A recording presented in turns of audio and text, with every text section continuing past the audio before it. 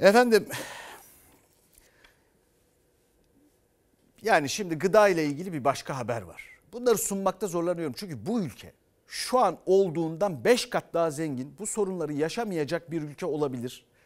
Öyle bir potansiyeli açıkça vardır. Fakat bu değerlendirilemiyor. Yani şöyle söyleyeyim. Hani altın peşinde koşarken elmasları kaybediyoruz.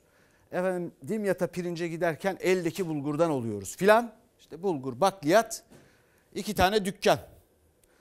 Birinde kuyruk var, diğerinde yok. Neden? Hesaplı diye buraya geldik. Piyasaya göre ucuz marketlerde uçuyor. Eski şeyimize geri dönüyor. Eskiden de gelir toprak malzeme ofislerinden alırdık pirinci falan. Şimdi gene geldik işte. 2-3 aydır ben halis Rus havyarı bulamıyorum. Ben onu arıyorum. Geldim dediler ki Rus havyarı yok burada dediler. Havyarsız ben duramıyorum. Başka havyar olsa yemem. Siyah olacak. Espri yapıyorum güya ama yani çok kötü olduğunuz bir durumda kendinizi salacaksınız. Alay edeceksiniz.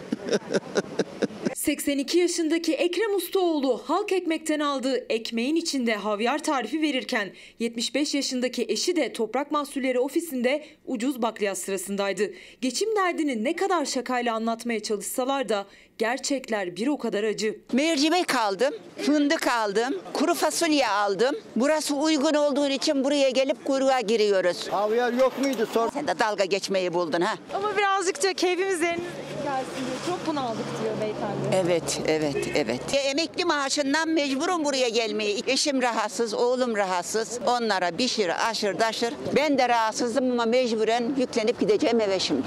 Kuyruk yok yok 70 senen şöyle var ama işte yaşıyoruz. Kuyruğu da yaşıyoruz. Alıştık sıralara gayle. Her şey sıra. Ekmek de sıra. Yiyeceğimiz içeceğimiz de sıra. Bu sırada ucuz bakliyat sırası. TMO'nun satış noktasında 5 kiloluk pirincin fiyatı 57,5 lirayken marketlerde 149 liraya kadar çıkıyor. Pirinç aldık, fasulye aldık. Nerede ucuz bir şey varsa oraya kovalıyoruz. Kırmızı mercimek aldım onun fiyatı da iyi. Yani marketlerdeki fiyatlara göre tabii uygun yani. Ama hani genel olarak piyasanın durumunu soruyorsanız yoruyor yani insanlar tabii. Tarım krediye girdiniz?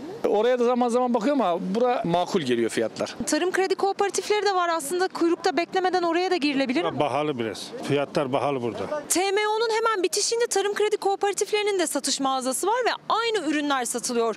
Ama daha ucuz olduğu için tüketiciler TMO'yu tercih ediyor. Örneğin TMO'da 5 kilo pirinç 57,5 lira, tarım kredi kooperatiflerinde 2,5 kilosu 38 lira 90 kuruş. Yani 5 kilosu 77 liraya denk geliyor. Diğer ürünlerde de etiketlerdeki fark dikkat çekici. İkisi de devlete ait kurumlardan fiyatı daha uygun olan TMO'nun bazı ürünleri ise ithal. TMO'nun kırmızı mercimeği Kanada'dan geliyor. Tarım kredi acayip pahalanmış. Şu kadarcık şey 300 lira tuttu. Un var, çay var. Yani ufak ufak. Unlar 11 liraydı, 18 lira. Biz yesek de olur, yemesek de olur. Ama çoluğu çocuğu olanlar yazık o çocuklar gıdalarını almıyorlar.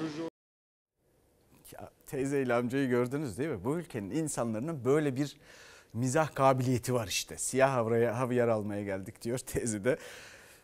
Susturuyor bir yandan.